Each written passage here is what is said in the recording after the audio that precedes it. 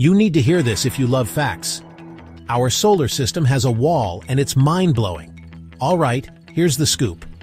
Picture the sun blasting out a wind of charged particles. That's the solar wind. Now imagine this wind traveling far, really far, until it meets a stronger wind coming from other stars. The point where these winds clash and neither can push any further is called the heliopause. Think of it like a giant bubble around our solar system. Inside this bubble, we're protected by the solar wind, but outside it's a whole different story.